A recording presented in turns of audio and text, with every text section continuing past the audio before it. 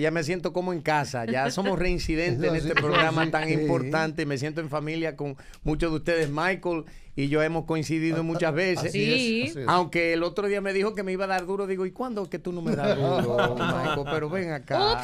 Pero quiero decir que, que Rafi es un, es un político encantador. ¿Sabes que el político el político muchas veces por el contenido que tiene que, que, socializar permanentemente, programas económicos, conceptos a veces uno lo siente tan, tan crudo, tan, tan seco.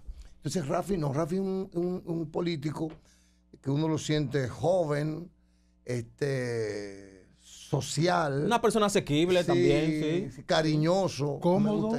cómodo, para conversar con él. De buen, de buen nivel de respuesta. Sí, sí, gracias, gracias por eso. Yo trato de ser auténticamente Ramfi, de una forma u otra, eh. y, de exponer, como, como siempre he dicho, con el corazón en la mano. En un momento determinado, dijo alguien, a mí me dijo alguien, que Ramfis llegó a tener, me dijo esa persona a mí, 13% de preferencia. De preferencia en, el, electorado. Y entonces eso impactó a Palacio, dijo él. Eso impactó a Palacio. Y, entonces ahí comenzó eh, eh, una respuesta de, del poder político hacia Ramfi, porque cuando tú tienes 13 ya tú eres un peligro público. Pero, oh, pero Tienes 13 mucho. entonces, me gustaría saber, partiendo de ese 13%, Ramfis Domínguez Trujillo, ¿cómo está su proyecto? ¿En qué número está usted ahora? ¿Subió, bajó? Mira, yo creo que es lógico que cuando uno se retira en cierta forma del ámbito político, porque nosotros tuvimos que recogernos después del proceso pasado porque todo el mundo empezó a tirarnos de a duro, como dicen aquí, porque justamente tenían miedo. Primero fue la incógnita, quién es Ramfi, qué busca, qué, qué está haciendo aquí. Después entonces cuando vieron los números subiendo, entonces dijeron, bueno, no lo podemos dejar pasar hasta que estemos seguros que lo podemos comprar, que lo podemos amarrar, que lo podemos comprometer. Cuando se dieron cuenta que no nos pudieron comprar, que no nos pudieron comprometer, entonces ahí es que empezaron a darnos por todos lados. Y realmente un proyecto nuevo, un proyecto eh, sin cola que le pisen, sin compromiso, fue muy duro para nosotros. Eh, y por eso es que yo digo que lo que nosotros hemos logrado, lo digo aquí, lo digo públicamente, lo digo en privado, es un milagro. Porque realmente en un momento de tantas dificultades para nosotros, porque pasamos las mil y una eh, para poder echar este proyecto hacia adelante. Papá Dios vino y dijo, no, este es el proyecto. Y nosotros logramos en poco espacio de tiempo entregar a la Junta Central Electoral con 478.500 personas a la Junta, solamente aquí en República Dominicana. ¿Cuánto, cuánto? Medio millón. 478.563 fue el padrón que entregamos a la Junta eh, del Partido Esperanza Democrática en noviembre de 2021 y 293 mil fuera del país, es decir, que forman parte de la diáspora. Estamos hablando de casi 800 mil personas. Son mucho. Mucho. Entonces, ahí está la base de nosotros. Y como le digo yo, esto no es de boca, que estamos inventando, no, eso fue lo que se entregó a la Junta Central Electoral, que lo pueden verificar allá cualquiera que, que lo quiera hacer. Entonces, los números nuestros están bien y yo entiendo que con la certificación del partido, nosotros vamos a lograr afianzarnos y hemos visto en las últimas semanas ya empezando, reiniciando los temas de comunicación, participando en las entrevistas, ya habiendo cumplido todos los requisitos de la Junta, ya estamos prestos para trabajar. O sea que yo sé que los números van a venir duros. Eh, y yo vi una encuesta incluso hace algunas semanas que no me disgustó, donde dice que nosotros marcamos un 4% sin haber pisado un programa de televisión, 4%.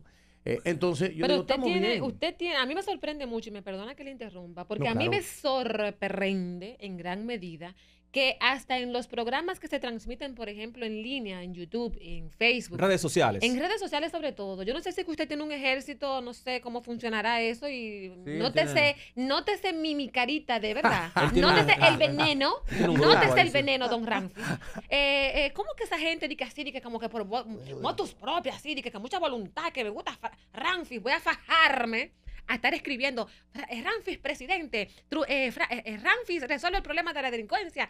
Pero una cosa... Es, increíble. Y, yo a veces me pregunto... Ni Lionel, ni Danilo, ni, ni, Abinader, Ramfis presidente. Y yo, wow. No, lo que pasa, la diferencia es que ellos usan bots que le dicen, nosotros no. Y para mí, de verdad, a veces yo digo, Señor, y, le pregunto a Papá Dios a veces en las oraciones, me digo, ¿y qué he hecho yo para merecer tanto apoyo? Y eso porque lo de nosotros es totalmente orgánico. Es orgánico. Es orgánico completamente. Es que quien no lo hace de forma orgánica se está enganchando, digo, se está engañando.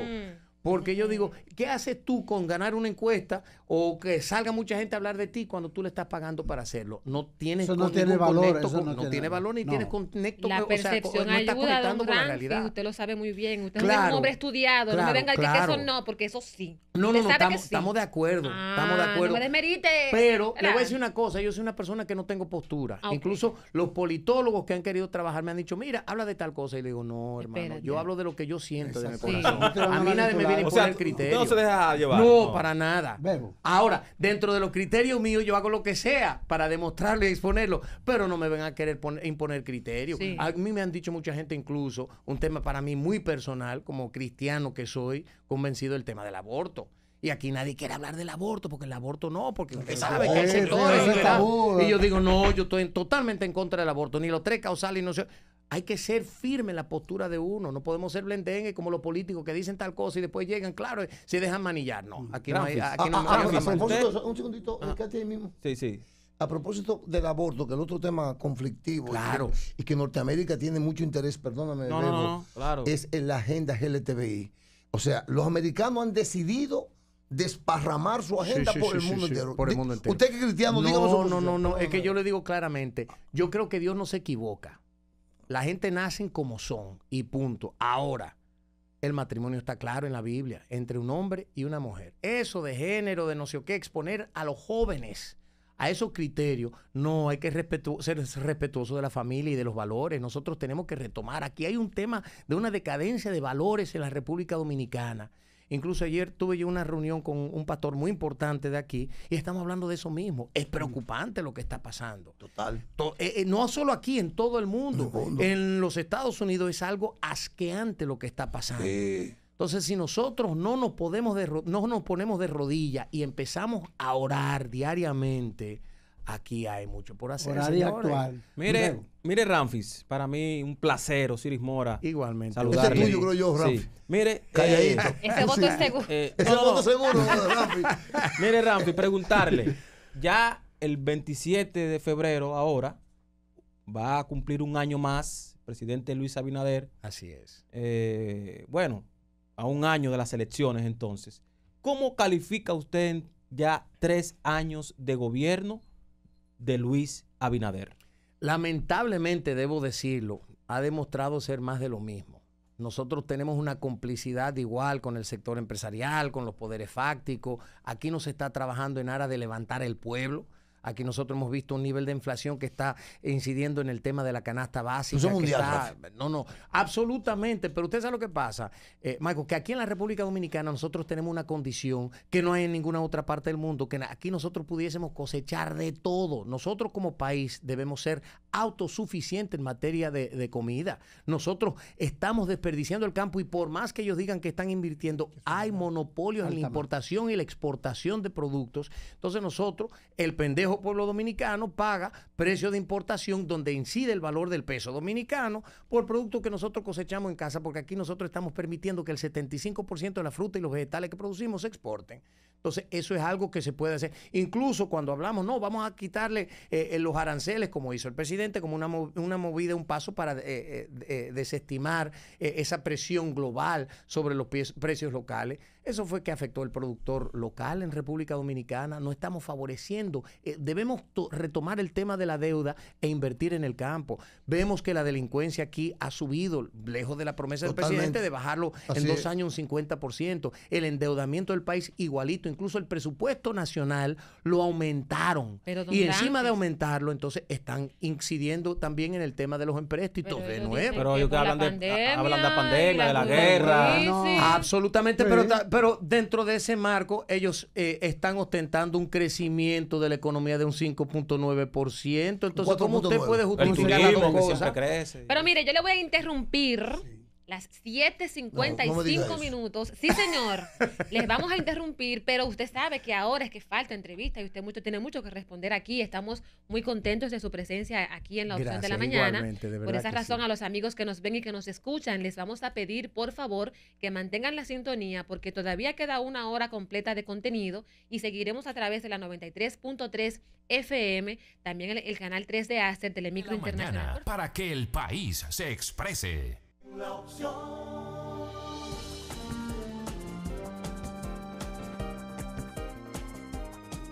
La opción.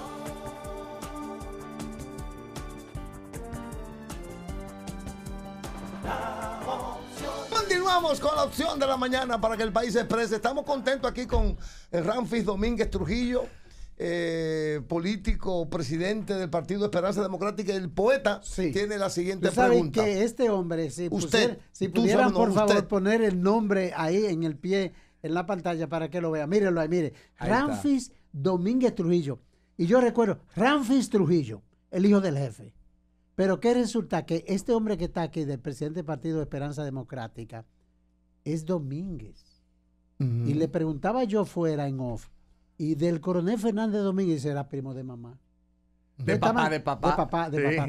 Y entonces estaban ligados, estaban conectados con Ludovino. Eh, Ve porque al jefe lo mataron, amigo. Mire por dónde va la cosa. Entonces, una pregunta. Antiguo colaborador. ¿Qué tanto este odio? Usted dice que usted es un hombre que lo aman y lo odian. La gratuidad del odio. Porque ¿quién puede odiar a un hombre que ni nació aquí, ni se educó aquí, tiene una cultura dominicana porque la heredó de su mamá y de su papá, pero es Domínguez. ¿Qué tiene que ver? Que, que el abuelo... Esa pregunta se la responde usted mismo. Que el abuelo, no, pero es para el ah, público, no ah, es para mí la pregunta, es para el público la pregunta.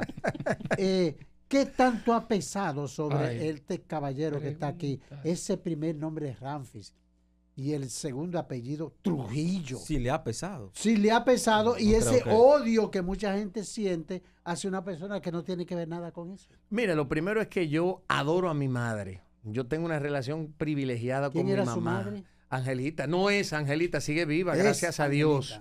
Eh, y yo hablo con ella dos, tres, cuatro, cinco veces al día en Miami. Y cuando yo estoy aquí, que es ahora la mayoría del tiempo, yo voy allá para hacer algunas cosas de vez en cuando, pero yo hablo con ella cinco y seis veces al día. Porque y, uno la puede entrevistar a ella. Eh, Podemos organizarlo. Ella hace mucho que no hace nada porque ella dice que ahora el político soy yo, que ella no quiere estar en los medios. ella tiene historia, mucha historia que contar. Muchas, muchas. Pero ella fue que escogió el nombre Ramfi, porque incluso ella, mi papá, yo soy el primer hijo de él. Eh, pero él dijo, yo quiero el, que él tenga mi nombre. Y mi mamá dijo, porque tío Ramfi había fallecido. Y lo estamos hablando desde el punto de vista familiar. Sí, familiar. ella lo escogió no por político, sino porque él quería. Siempre los abuelos quieren que incluso el último reducto ¿eh? se llame igual. Sí, sí, sí. Hermosa tu mamá. ¿eh? hermosísima. Hermosísima. Y es más linda de, adentro, de corazón. Amén.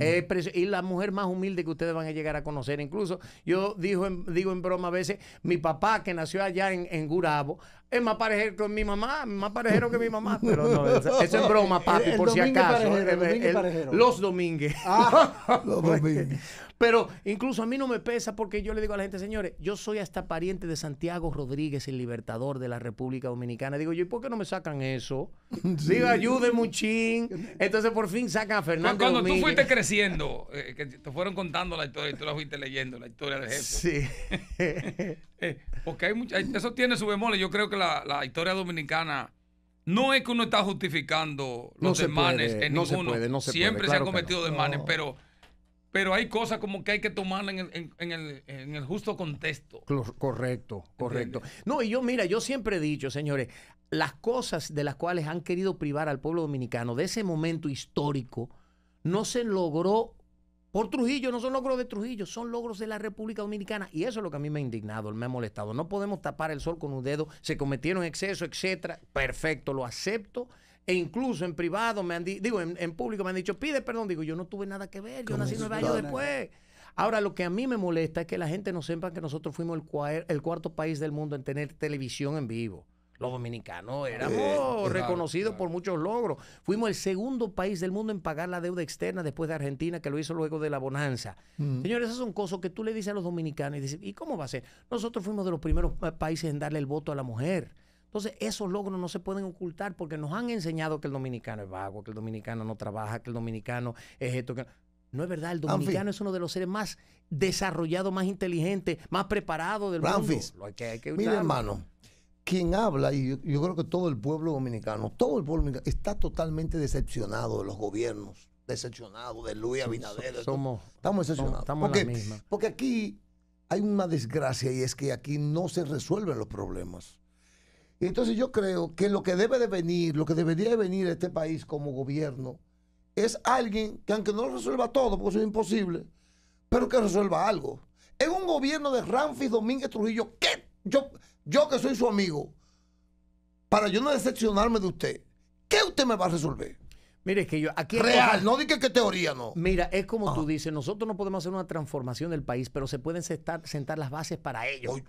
Mira, hay cosas que nosotros tenemos que hacer en la Constitución que se tienen que modificar, como el tema de la descentralización del gobierno, que es imprescindible para el tema de la corrupción, para el tema del mal manejo, los empréstitos, todo lo que nosotros vemos, los desmanes económicos del país con la eh, descentralización del gobierno se van a corregir. Eso es lo primero. Lo segundo, la delincuencia aquí se puede resolver fácilmente y no es con tanto alarde de que ¿Cómo, ¿Cómo, cómo, te lo resuelves? Con disposición. Aquí nosotros tenemos un sistema de justicia que no le paga bien a los jueces, donde los jueces vemos que engavetan los casos por un par de chelitos con incidencia del narcotráfico, los estamentos del poder, del poder, y eso es así. Entonces nosotros ah, tenemos ah, que hay cosas, hay, temas en que el Trujillo te, te puede funcionar. ¿eh? No, es que hay cosas, aquí la gente quiere mano dura. Es la delincuencia, yo creo que... Es que hace, es que hace falta. Mira cómo está riendo, mira, papá, mira. Mira cómo se dura. Es que, es que la gente me dice, no, funciona. mano dura, como dijo... de la democracia. No, no, espérese, claro. Es como dijo Álvaro Uribe, mano dura, corazón grande. En el de la delincuencia yo creo que usted puede tener un buen Es que usted sabe lo que pasa. Ah, yo me río porque la gente dice yo soy muy jocoso, siempre y eso, pero la gente me dice, no, pero tú tienes carácter fuerte. Yo le digo, pregúntele al equipo mío. cuando el jefe nada más un, cuando el jefe nada más un atraco a un banco en Santiago en la mañana a las 10. Y a las 4 de la tarde estaban todos resueltos. Apareció uno en La Vega, otro, otro, otro. Mire, mire eh, Ramfis, siguiendo en esa misma tesitura de Michael, en su proyecto, ¿cuáles son los planes reales que tiene usted para la juventud de la República Dominicana, que para mí no está pasando un buen momento. No. Y con el tema de la salud de los dominicanos. son dos temas preocupantes. dos temas preocupantes. Mira, yo siempre he dicho que nosotros tenemos que empezar a fomentar una juventud educada desde que son pequeños. Hay un programa en Noruega que a mí me fascina, que nosotros lo vamos a poner aquí, que es un programa donde todos, porque aquí hay un asunto del abandono escolar, unos niveles altísimos. ¿Qué tenemos que hacer nosotros? Todos los estudios lo dicen, cerrar la brecha social. ¿Cómo? En Noruega, ¿qué hicieron ellos? Primero, impusieron un criterio. Todo estudiante de mediano o bajo recursos va a recibir un presupuesto mensual para que si ese joven quiere meterse en un club de pelota, tenga los recursos para hacerlo. Tomar clases de pintura, eh, piano, lo que sea, elevar el nivel intelectual y sacarlo de las calles. Segundo, imponer un criterio. Un muchacho que tiene menos de 16 años no puede andar en la calle después de las 10 de la noche. No puede. Si lo agarran, se lo llevan al destacamento y van a llamar al papá. Ven a buscarlo. Después de tres veces que pasa eso, se va a multar al papá. Nosotros tenemos que enseñarle a los padres que los hijos se crían en la casa, se educan en la escuela, pero se crían y se forman en la casa. Más allá de eso, cuando ya llegan a la, edad universitaria, hay que imponer un criterio de que ellos pueden trabajar un criterio de que el primer trabajo para un estudiante es fundamental. ¿Qué vamos a hacer nosotros? Un programa donde el gobierno va a subvencionar a todas las empresas privadas el 70% del salario de un estudiante universitario. Un programa que funciona con mucho éxito allá en Estados Unidos ese joven va a adquirir la experiencia para que cuando se gradúe pueda ir a buscar empleo. Es un problema que nosotros tenemos aquí, que aquí no hay empleo para los jóvenes. No, tú necesitas experiencia. ¿Y cómo rayo voy a buscar experiencia si ustedes no me dan empleo? Hay que trabajar por y para los jóvenes con un sistema educativo que funcione. Y Navíe siempre tiene problemas, eh, que un asunto del desayuno escolar problemas reincidentes. Aquí hay un asunto de la corrupción dentro del sistema educativo. Miles de millones de dólares que se gastan en el libro. El, otro día hablaron de miles de millones de dólares en un programa eh, de, una tableta. Eh, un sinnúmero de cosas que no podemos el tolerar. Censo. Absolutamente. el censo, eh, etcétera. Aquí hay que subir el porcentaje de inversión que hace en la educación del 4 al 8%. Porque nosotros hoy no tenemos educación. ¿Por qué? Porque aquí no hay educación. Cuando uno tiene un pueblo que vota por su barriga, eso no es democracia. Cuando votan por 500 pesos un pica pollo en Poterromo, eso no es democracia. Aquí necesitamos una verdadera democracia y hay que fomentar la juventud. El nivel intelectual del país está por el piso y por eso muchos jóvenes que hacen emigran y se van para otros países y tenemos dominicanos brillantes trabajando en Europa, trabajando en Estados Unidos y nosotros perdiéndonos de ese recurso tan importante para nosotros. Aquí la salud por el piso. ¿Qué tenemos que hacer nosotros? Una reforma, un híbrido como hicieron en Colombia, el sector privado y el sector público. Aquí los doctores siempre andan en huelga porque no les pagan. Y eso es correcto, señores. Aquí hay que pagarle a los profesores, hay que pagarle a los médicos, hay que pagarles pagarle a los militares, a los guardias, a los que sirven a la sociedad, los médicos. Nosotros sin salud no, no podemos vivir. Aquí hay hospitales públicos que se están cayendo a pedazos, que no le dan la atención médica. Hay que crear hospitales y centros de emergencia. En el campo uno se mete a recorrer los sitios más recónditos. ¿Qué es lo que le dicen a la gente? No, hay, aquí hay un, centro que abre dos veces a la semana. Ah, bueno, ¿y qué haces tú cuando a ti te, tú te lesionas? Porque uno no se lesiona que los martes y los jueves, sino cualquier día de la semana. Tiene que ir a un centro o en un municipio cabecera, un, un, municipio que le quede cerca. Eso no puede ser en la República Dominicana. Tenemos que creer o crear una red de salud que funcione, que le resuelva. ¿Usted sabe lo que andan diciendo por ahí? Lo que andan diciendo. Le pido perdón, pero. No, no. Eh, yo, no soy enemigo. Yo hablo mucho. A mí me tienen que mandar a callar porque yo ah, hablo. No, pero yo no soy enemigo suyo. Yo soy amigo suyo. Yo lo sé que Un admirador suyo. Eso sí es verdad. Este. Andan diciendo por ahí que ya su su avance hacia el PRM, a una alianza con el PRM, es, ya eso está firmado. Vamos arriba el que dice eso no me conoce. ¿Cómo va? No me conoce. A Johnny también lo dijeron. a mí me lo dijeron, a mí me lo dijeron y a Johnny se lo dijeron. Mira, es que, es que yo, yo tengo familia. Pero yo no tampoco. yo tengo, no, no, pero que conteste. Pero hay plan de alianza, no solamente con el PRM, sino con cualquier otro partido. Yo, yo, le digo algo. nosotros tenemos el, el partido. No, no, no. Y yo no puedo descartar en este momento porque la coyuntura es lo que define el resultado. Pero hay que decir claramente algo y yo lo repito muchas veces y es mi posición personal.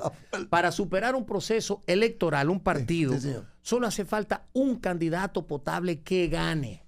Ahora, ¿para qué sirven las alianzas? Principalmente para buscar prebendas, recursos, posiciones en el gobierno para los miembros de ese partido. Mi partido no es de eso. Si nosotros vemos en algún momento que una alianza va a servir para algo que sea en beneficio del pueblo, nosotros lo vamos a hacer, pero me lo tienen que demostrar. Ahora, yo no soy el que voy a determinar si vamos a hacer alianza o no, sino el directorio central ejecutivo del partido. Mi posición, yo siempre he sido anti-alianza, porque a mí me ofrecieron de todo en el último proceso y yo me rehusé porque yo no vine ni a buscar carguito, ni a buscar dinero, ni a hacerme rico en la política. Yo lo he invertido mis recursos personales en la política porque creo en mi proyecto. Entonces, la alianza, veremos en su momento, pero yo siempre he sido anti-alianza. Pero tú no tienes un acercamiento con el gobierno. Mm, yo tengo muchísimos amigos, lo que le puede, le pregúntele a todo, a ver si yo he pedido favores, acercamientos ni nada. Yo lo he soltado en banda, porque digo yo, en lo que están ustedes en el gobierno, lo vamos a soltar en banda porque yo no tengo que estar eh, eh, bailando con ninguno de los políticos. El problema haitiano, su abuelo aplicó un corte en el 37. que yo estoy de acuerdo. Faltaba esa pregunta. Faltaba esa pregunta. ¿Qué fue lo que aplicó? Él tenía preparado. Aplicó el corte del 37 porque vamos a, vamos a alimentar un poco a los oyentes Mm. Trujillo estaba en un lugar, Trujillo era el presidente, y unos campesinos fueron allá y le dijeron, jefe, no aguantamos más. Los haitianos se nos llevan el sembradío, se llevan los animales. Robo por Y entonces el jefe... han cambiado, ¿eh? El jefe se hizo respetar. Pero la situación... Yo le voy a decir una cosa a ustedes, y lo voy a decir con aquí, y no me importan las críticas. Probablemente, y usted que es de mayor edad puesta, probablemente estemos viviendo la misma situación. Y antes, y peor. Y, antes que usted responda, cuidado, si peor. con eso. Antes que usted responda, mm. Eh, mm. ha habido historiadores que han magnificado un número que es un absurdo. Sí. Yo les doy pues. yo le doy mucho seguimiento a Fran Moya que para mí uno de los historiadores más serios. Estamos de acuerdo. Estamos de y habla de que en proporción a la población de entonces en la zona, ellos cuantifican un promedio de cerca de 3.000 personas. Claro. Obviamente fue una, una Sí, sí, sí, sí. sí, 3.000 o 300 en o, ese tiempo 30 o 3 como quiera. Acuérdese en, en pueblo suyo de Salín. Hablar de 17 El de Güelle de Salín, el pueblo suyo. 35 mil. De 37 mil. Una barbaridad que, que debió ser un millón para dar un ejemplo en este país. Pero, eh, Pero Frank, yo, yo vamos a ver. Do, yo soy amigo Señor, eso, eso fue Johnny que lo dijo. No, lo digo yo. Todos los días lo digo. Yo soy amigo del pueblo haitiano, por si quieres retirar mi nombre del, asunto. Bueno, adelante. Porque soy cristiano. No, pero es que yo te voy a decir una una cosa, pero espérate. Michael, Jesús el orden, corte. Hoy el diluvio que fue. Pero espérate. un corte y el muro de Jericó. Eso es bíblico. El, el, orden y la disciplina son preceptos bíblicos. Total. Y yo te voy a decir algo, yo no soy racista jamás. ¿Y quién en República Dominicana puede ser racista? imposible. Nadie. Son una mezcla. Absolutamente. Pregúntele al Chevalier. No, claro. No, pero no solo eso. Por parte de papi, el abuelo de mi papá era un poco más negro que el, que la bota mía. El Sina. ¿Cómo pasa entonces? Esa es la belleza de nuestra cultura. que nosotros, el negro, ese mestizaje. oh, pero ven acá. Yo se lo digo a mis hijas. El hombre no quería liga. Que, que mis hijas, no, mis hijas tienen el pelo rizo. Fue, digo yo, es una de la ¿Usted no está huyendo la pregunta? No, no, no. para nada, espérate. No, yo, no, no, yo, oye. Tranquilo, tranquilo, que yo que hice la pregunta. No, ahora, yo te voy a decir una cosa. Yo no soy racista, no soy xenófobo y no soy anti-haitiano. Tengo familia en Haití, tengo parientes en Haití, los Chevalier. Los Chevalier. Entonces yo no puedo ser anti-haitiano, no, me luce ser anti-haitiano. Ahora, ahora ya vamos. Escúchame, ellos no saben quién fue el Sinach Chevalier. No, la, la abuela de, La abuela del jefe. Sí, sí, sí, sí, sí, sí, Y eres una rubia. Sí. Pero entonces con la migración haitiana. Entonces, ¿qué es lo que digo yo? Señores, si nosotros vamos a resolver la crisis en Haití, el primer paso tiene que ser la repatriación de todos los que estén aquí de manera ilegal todos, mm. porque el foro internacional, absolutamente nadie. Pero eso se está haciendo, Dique. No, pero ven acá, sácanse, pero entran 12. El problema en el 30 y pico, que se firmaron tres acuerdos en el 32 con el gobierno haitiano, después el último en el 36, donde se construyó la eh, carretera eh, eh, internacional, que decían. Y se le cedió un terreno para que, que no se le cedió Las hinchas se le cedió para, claro, para resolver esa crisis. Fue un afán de resolver esa crisis. Y no estamos justificando porque no podemos justificar el corte bajo ningún concepto. Yo no voy con eso. Ahora, lo que sí hay que hacer es mm. decirle a la comunidad internacional, el problema se lo vamos a colocar en Haití, porque mientras tanto, ¿quiénes son los pendejos que están resolviendo eso? Nosotros que lo estamos aceptando aquí. Cuando ese, esa crisis se fomente y se, se acrecienta allá en Haití, el foro internacional va a tener que actuar. Ahí está Francia, ahí está Canadá, ahí están los Estados Unidos diciendo, quédense con los, con los haitianos, documentenlo, denle facilidades. No, aquí pero no. ellos los devuelven. Y después, claro, pero después tenemos una clase empresarial aquí que abusa y se aprovecha de la mano de obra haitiana. Y que hay que el código laboral 80-20. Y yo no voy con eso tampoco, de estar abusando de esa gente mm. que vienen aquí. No, señores, así no, porque nosotros tenemos que ser cristianos ¿Y qué he dicho yo? Señores, vamos que la, ayuda internacional nos la retiren a nosotros, pero con la migración allá y que vayan a invertir en Haití, en la reconstrucción de Haití. fácil. Eso es, eso es lo que nosotros tenemos que hacer. Ahora, ¿quién se atreve a hacerlo? Y la construcción del muro se tiene que hacer. Aquí hay que tener tres muros. El muro físico, que es importante. Hay zonas donde no. Uno se mete, por ejemplo, en la carretera que va de Jimanía a Hondo Valle. ahí es muy difícil, el terreno es muy difícil. Claro, muy difícil. Pero nosotros en Bánica, por ejemplo, donde el río Artibonito, ahí hace falta un muro, sin lugar a dudas. Y otros puntos del país, en Elia Piña, también en Pedernales, hace falta un muro. Pero luego de eso, hay que crear un muro psicológico, sabiendo que aquí en la República Dominicana se cumple la ley migratoria. Usted entra, entra de manera ilegal y lo vamos a sacar. Y tercero, fomentar la agricultura en el campo, allá en la frontera, darle incentivo al dominicano para que vaya a crear esos tres muros para que no se mude para proteger. Porque en el 37 la migración era de la frontera para acá. Ahora estamos rodeados, señores, desde Verón, Punta Cana, hasta Pedernales, hasta eh, Dajabón, Jimaní, Santiago, donde quiera aquí en la capital. Cuando la gente te preguntaban, ¿qué usted busca aquí, caballero? No, yo tengo un muchachito en el Angelita. Eh. ¿Cuántos días te va a durar aquí? miren, no lo queremos volver a ver se le daban cinco días después. y ese hombre iba para su campo. Ahora tenemos la capital no. arrabalizada. No, totalmente. Eh, totalmente. y la gente se siente inseguro. Y cuando Porque hay gente que ataca la dictadura de Trujillo por hacerte la dictadura de izquierda. y marxista. Mire, todos sus proyectos, sus planes, muy bien. Este hombre está casi convencido ya. Eh, eh, Perfecto. Le falta un chip, pero casi, casi va. Partido Esperanza Democrática.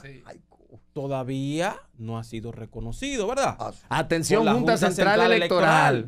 Entonces, si no, ¿Cuál es el paso si no es reconocido, entonces no puede participar para las próximas elecciones que ya son eh, a la vuelta de la esquina. ¿Qué falta para eso? Y si usted cree que de aquí a ese tiempo se puede lograr entonces ese reconocimiento. Mira, nosotros ya hemos cumplido todos los pasos de la Junta. Incluso en diciembre superamos el proceso de, eh, inspectoría que le dicen que es el trabajo de campo. Mm.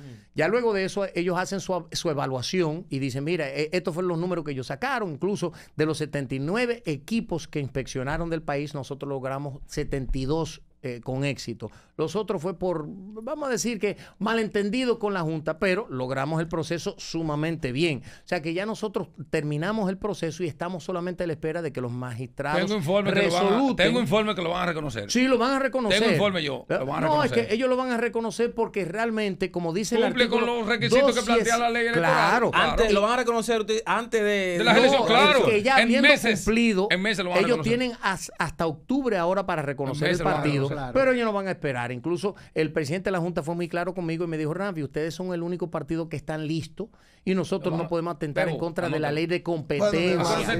Entonces, eso para nosotros es sumamente importante. pero estamos esperando que ellos lo hagan porque hace falta hacer el trabajo. Oye, lo que, oye, lo que pasa.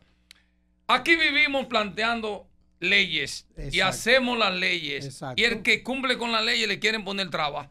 Es una cuestión democrática este país de todos nosotros. ¿Quién dijo que este país es de tres partidos?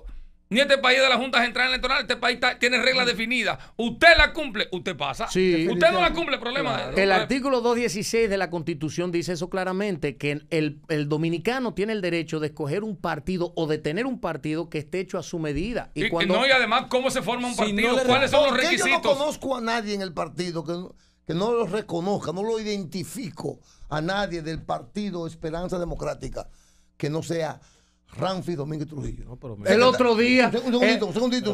Un, secretario general yo no lo conozco. Ah, ok. Encargado de economía yo no lo conozco. No, no, no, ese existe. Este partido, no lo conozco, este partido es un partido de él no, porque él es la cara del partido. No, no, él es el partido mío, el partido es mío. No, no, la pregunta debe ser la siguiente. La pregunta debe ser la siguiente. No, no, claro, la pregunta la pregunta debe ser cómo está conformada lo que Michael la la actitud es buena. Sí, es buena, pero eh, cómo está conformada. No, la pregunta es que por qué no se por qué no se visibiliza a nadie que no sea Ramfi. No, pero yo te voy a decir Tú tienes un partido, ey, tú tienes un partido y tú el otro el otro día. El único que lo conozco es muy chiquito. Ah, el Ramfi tiene 13%. Eh, eh, no, pero espérate. ah, cuidado. Michael, te está contradiciendo. Tú conociste una de las figuras del partido, que ah, vicepresidente del partido. Ahora, hace una semana. No, el doctor Fadul tiene años ah, con nosotros. Hace una semana Ah, exacto. No, que tú lo viste personal, pero tú eres amigo de Fadul hace Yo no sabía que Fadul era ¿Te das cuenta? Sí, él es una de las figuras que están dentro del partido. El otro es Damaso. Que te va a meter en un lío de Fadul. Que tú, que, mira. Cada cual es independiente. No me metes en eso. No me metes. No, tiene view. Mira, el otro, Damaso Marte Sabiñón, pitcher de los Yankees, ah. el secretario de deporte del partido, ah, sí. Pues, pues, y en Nueva York tiene una estructura. Él la vio en Nueva York la estructura. Él. Nosotros tenemos. allá en Nueva York, la de Cirilo, la estructura. Sí. Oye, pero tú, tú, No, no, te convencí, no. Nosotros tenemos 47 en el directorio central ejecutivo y te voy a decir Hay que algo. esos nombres. 47 ¿Para ver quién acompañan a Ramfi? No, eso, eso, son la gente que nos acompaña. Mi papá, que fue coronel de, la Fuerza Aérea, aquí es el secretario de Asuntos Militares también. sí, mi papá es el secretario de Asuntos Militares. Tenemos muchas figuras, tenemos muchas figuras. ¿Hay con usted? Oye. Mira, yo te digo, es que yo no. Sí, como, mira, te voy a decir Bienvenido, algo. No, dejen, de estar metiendo la pata, señores. Mira, yo le digo algo a la gente. Yo no sé si son trujillistas o no, porque eso para mí no es una condición para entrar. Claro. Realmente no. Rectitud. Hay, hay, hay, gente que empiezan a manifestar, incluso, debo confesar, hay veces que yo llego a la oficina mía y vengo, eh, oigo a la gente escuchando los merengues digo, señores, esto es un partido que no es trujillista, porque no lo puede ser. Yo estaba, eh, yo estaba en San Cristóbal, estaba en San Cristóbal. El libertad, trabajo y moralidad. Estaba en San Cristóbal, él fue conmigo a la casa donde el jefe iba, por allá, por, por, allá por Najayo. Pero yo estaba en San Cristóbal. Que van a hacer un museo ahí. No, no, espérese. Yo estaba en San Cristóbal compartiendo con unos amigos y al final apareció una persona joven. Eh, yo probablemente le lleve dos años, sale. Aquí había una fiesta ayer y esa fiesta estaba concurrida y como es natural la juventud se fue. Y se quedaron personas de cierta edad. Y un tipo dijo, salve San Cristóbal. Y soltaron, lo que escucharon fue salve San Cristóbal. Ya se fue la juventud. Vamos nosotros. Esa es una fuerza, mira que no, es innegable, señores. es innegable. miren esas cuatro letras. Rafael Leonidas Trujillo Molina. No, pero espérate. Rectitud, libertad, trabajo y moralidad. Rafael Leonidas Un acrótico. El acrótico. Un acrótico. No pero no le barata. ¿Por qué no destruyeron el Palacio Nacional? Debieron destruirlo. No, y el puente. Y destruyeron Bellas Artes. Y el puente Duarte. Y los puentes que hizo el jefe. Y todos los hospitales, y todas las escuelas. Exitosa entrevista hoy aquí, Rafi. ¿Qué, qué, qué, cosa es esa? Armeilo. Ya está concluyendo. Armeilo Lebrón. Para decirle esto a Rafi. Oye, Armeilo Lebrón era. Rafi de nosotros. Armeilo Lebrón era un personaje de las matas de Farfán que murió hace un par de años y el jefe, lo, el jefe lo nombró encargado del ser la región sur. Era que contrataba, porque los haitianos con Trujillo venían con un contrato. Con un contrato. Atiende, eso me lo contó Le voy a citar tres. En el cercado, Quintín Montero murió de ciento y pico de años, un jeque. En Padre Las Casas, Jesús Paniagua. Trujillo lo hizo bueno. Y entonces, bueno, no, eso, eso eran después. Sí, sí, no, eh, pero, entonces, Trujillo, cuando gana las elecciones del 30, para la reelección del 34, en el 32 o 33, mandó a buscar a la Buscó los pueblos. ¿Cuáles eran las figuras? Eso me lo contó él en su casa. Y entonces el jefe lo mandó a buscar. Lo he mandado a buscar. Quiero que usted se me, encañe, se me encargue de la campaña electoral del partido allá dominicano. Entonces, que el jefe parece mentira. Tú hablas cosas. El, el jefe puso a Mario Rivitini presidente del partido, que la gente no sabe. Bueno, entonces eh, le, da los afiches y le da 7 mil pesos para la campaña electoral. En aquel tiempo. En aquel tiempo. Y el hombre arranca para allá. Y el hombre comienza a poner afiches y cuyo afiche lo vi yo. porque él se quedó con uno. Espérate, no, Michael, la historia, la historia. Y entonces, es para darte un gesto de lo que te voy a decir. Y entonces pasa las elecciones, 16 de mayo, y el 19 de mayo él sube al Palacio Nacional del jefe jefe, ganamos las elecciones, como natural. Y le dice, mire jefe, Oye, como es natural. mire jefe, aquí sombraron 3 mil pesos. Él no, era, no tenía empleado público ni nada. Y el jefe le hizo así. Llamó al secretario, nombrado encargado del C en el sur, hasta que se murió. No lo quitó el PRD, no lo quitó Balaguer. ¿Tú estás entendiendo? Pero pollo, ¿por qué? El tipo devolvió en campaña electoral lo que le sobró. Y eso, es para que tú veas la paradoja de la vida, ¿eh? Y él se atrevía a quedarse eh, con ese cuarto. Además, en la época del jefe. pero venga acá, mira. Eh, eh, pero, pero que desliguen a, a Ramfi de esa época. No, no, no. Ramfi es un demócrata. Yo escucho, yo escucho. Justicia, justicia, justicia independiente. ¿Hay en la República Dominicana? Para nada, jamás justicia independiente. Si no, estaría en medio del PDLD y la mitad de la FUPU también presa.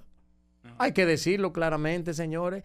¿Por qué no hay una sola una personalidad? ¿Mitad de qué? ¿Mitad de qué? Del, del PLD y de la FUPU. Ah, no, porque FUPU yo no conozco. claro, claro, claro, Tú la conoces, no te hagas tonto. tú sabes que sabes que sabes. ¿Y la FUPU de dónde vino? ¿De dónde sí. vino? Pero ¿qué FUPU? No hay FUPU. La FUPU. Hay un partido que se llama FUPU. Con la fuerza del pueblo. Eh, así que le dicen, así que le dicen, así que le dicen. Nosotros le decimos otra cosa puerta cerrada. Al jefe, al jefe cuando la época dura de, de la tira, la, ah, pero va a seguir hombre con él. Cuando la, ey, cuando la, la, época, la, la, época dura, la época dura de la tiranía, Estados Unidos para probarlo, mandan unos periodistas aquí y el jefe estaba, no estaba en el palacio, estaba en la finca, mm. la finca que él tenía.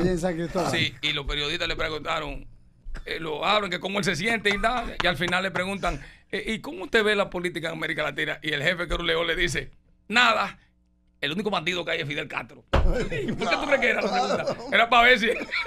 Si caí en ese gancho. Si caí en ese gancho. Si caí en ese gancho. Sin embargo, ¿con qué ganó Fidel Castro en parte la revolución? Espérense. Con 10.000 ametralladoras Cristóbal. Sí. fabricada en San Cristóbal, que le pasó a Trujillo. No, no, al contrario. Él se la mandó a Fulgencio Batista. Los gringos fueron los que le dieron a, a Fidel Castro. Porfirio Rubirosa. Vamos, vamos a recordar a la sobriedad. Mire, mire, Ramfi, ya para cerrar, para cerrar de mi parte, yo sé que esta pregunta quizás a Michael, a Michael no le guste mucho, pero es algo ya más jovial y eso. ¿Qué usted piensa del dembow?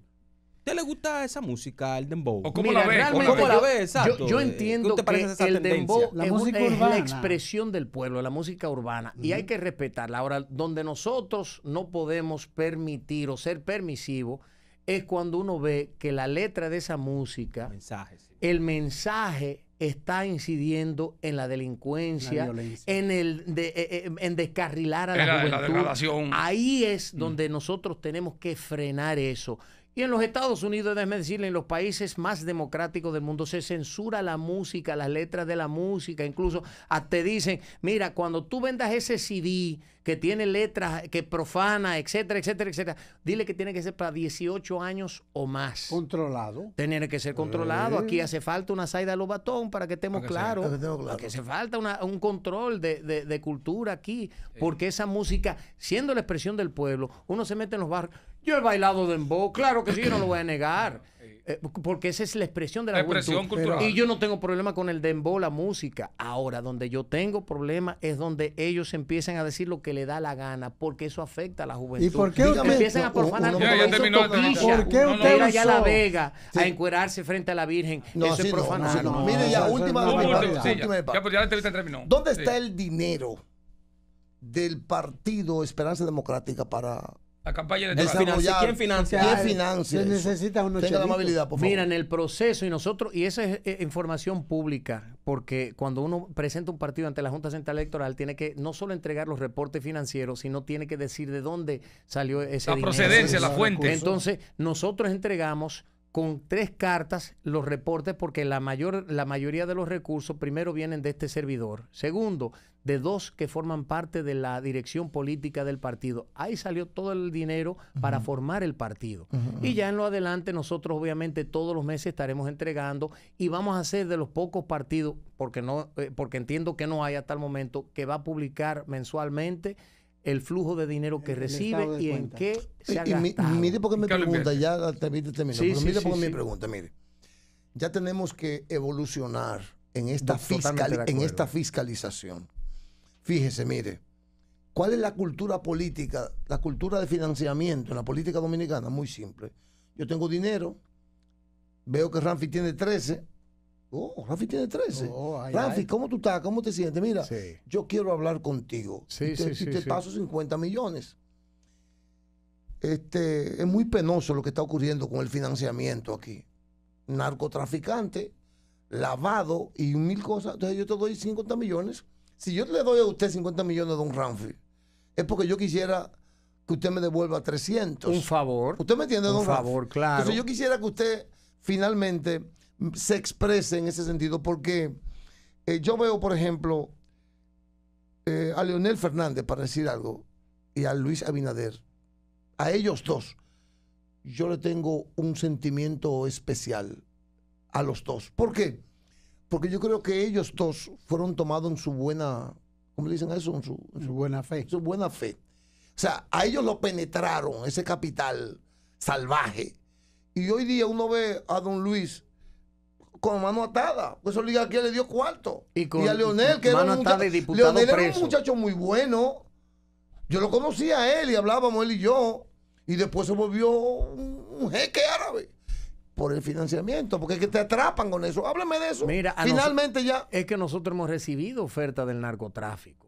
Nosotros mismos hemos recibido ofertas de narcotráficos, claro. Nosotros nos ofrecieron 20 millones de dólares para la campaña pasada. 20 ah, millones de dólares. De dólares. Un solo narcotraficante. Incluso nosotros concluyendo una actividad que a mí me costó unos 20, 25 mil dólares, nos ofrecieron 100 mil para esa actividad. Ay, ay, ay, y yo, dije, porque uno no le puede decir que no, yo le dije que teníamos una sobreabundancia de recursos cuando nosotros no sabíamos dónde íbamos a sacar los chelitos para la campaña, pero le dijimos que había una sobreabundancia, porque a mí me gusta dormir tranquilo de noche. A mí me gusta dormir, duermo pocas horas, cuatro o cinco horas, pero me gusta dormir esas cuatro horas completicas todas las noches. Y para yo dormir esas cuatro horas tengo que tener la conciencia mía limpia. Entonces, esa eh, eh, presentación, esa ley de reforma electoral para mí fue sumamente importante y aunque no se logró todo lo que nosotros entendemos teníamos que haber alcanzado, el límite del narcotráfico es algo, digo, eh, perdón, el límite de los recursos que una campaña recibe es importante. Aquí se, reconoce, mire, como una de las campañas más costosas. demasiado Cuando uno habla de que para 11 millones de habitantes uno se gasta 15, 20, 30 veces más lo que le cuestan para 27 millones de habitantes en el estado de la Florida, uno dice, hay un problema. Hay un problema. Si nosotros no nos ajustamos los pantalones y a medida que nosotros impongamos esas reglas, el narcotráfico no va a tener cabida porque tú puedes ofrecerle 100 millones de dólares, pero si tú solamente te tienes que gastar dos o tres en una campaña, no te hacen falta 100 millones de dólares.